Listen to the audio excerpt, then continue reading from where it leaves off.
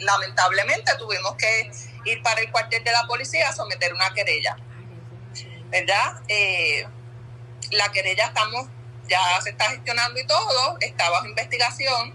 Les pido por favor que no intenten ocultar más información porque cualquier cosa que nosotros digamos pudiese dañar el proceso de investigación. Es por eso que eh, nos hemos, hemos tomado la difícil decisión de cancelar los actos de graduación.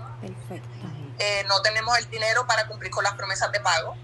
No, la situación se está resolviendo a través de la policía de Puerto Rico y lamentablemente, pues, al ser unos actos que no son obligatorios, sino que son más un acto simbólico, eh, lamentablemente no vamos a poder cumplir. Pudiese decir más, pero recuerden, está bajo investigación y no es conveniente el decir absolutamente nada. Se aclara, ¿verdad?, que, que desde que yo eh, me reporté a trabajar en la escuela en febrero, tuve la oportunidad de reunirme con el comité de clase graduanda, pero el que estaba encargado de la de los actos de, ¿verdad? de senior prom y todo eso. Esta situación no tiene que ver con ese comité. Esta situación tiene que ver exclusivamente con la cuota que se recogió para los actos de graduación. Se aclara, ¿verdad? Que tan pronto se resuelva la situación, nosotros vamos a volver a congregar a los padres para decir qué vamos a hacer con el dinero yo entiendo, ¿verdad? Y es de todos conocido que si no se celebra ninguna actividad, se supone que el dinero se devuelva. Sin embargo, como no tenemos el dinero, lamentablemente no podemos entregarlo todavía.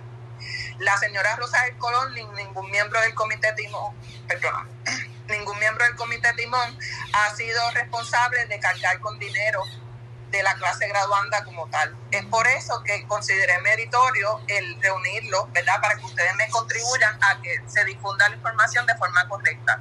No estamos acusando directamente a ninguna persona, sino que estamos utilizando el recurso de la Policía de Puerto Rico para que ellos decidan qué es lo correcto. Yo entiendo que nosotros como escuela hemos hecho lo mejor posible, lamentablemente, pues una persona eh, no cumplió con, con su palabra y con su responsabilidad y pues tuvimos que cancelar los actos de grabación. Eh, agradezco mucho su presencia y que presten, que hayan prestado su atención.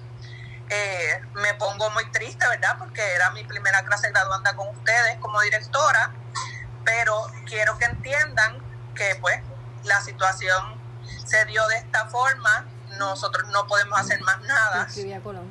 Eh, quiero que, le den espacio a la maestra encargada de clase graduanda porque esta situación es emocionalmente muy retante para ella.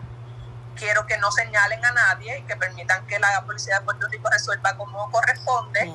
Mientras tanto, pues nada, estoy muy orgullosa de ustedes como padres y como estudiantes.